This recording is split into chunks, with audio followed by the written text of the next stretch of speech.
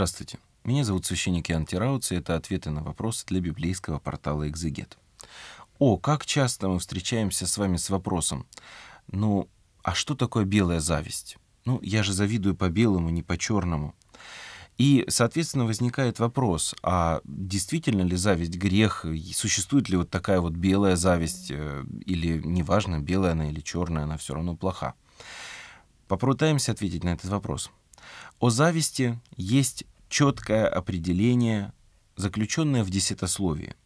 «Не пожелай дома ближнего твоего, жены ближнего твоего» и так далее и тому подобное. Перечисляются имущественные а, составляющие твоего ближнего, имущественные или вот а, жена, его любовь, его отношения. Вот не пожелай этого. А запрет на пожелание облегчал человеку возможность не приобретения этого. То есть он помогал человеку не дойти до действия. А белая зависть и черная зависть. Что здесь предполагается? Дело в том, что если подразумевать под белой завистью отношения между людьми, которые соревнуются друг другу, которые стараются, ну, например, в той же самой добродетели превзойти друг друга, то, может быть, это и хорошо. Это неплохая мотивация для а, возвышения в плане добродетели.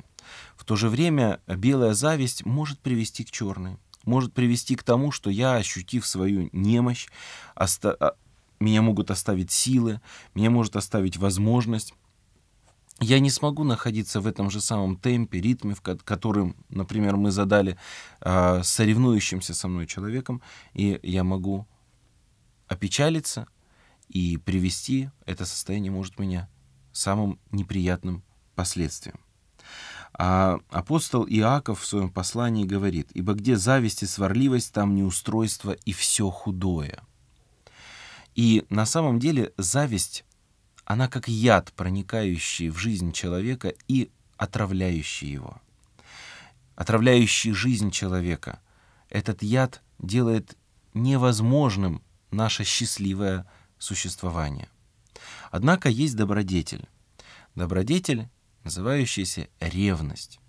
Вот ревность по Богу, она не смотрит на другого, она не думает, а вот как другой пожертвовал, а вот как другой проявил милосердие, а вот как другой проявил свою любовь к ближним.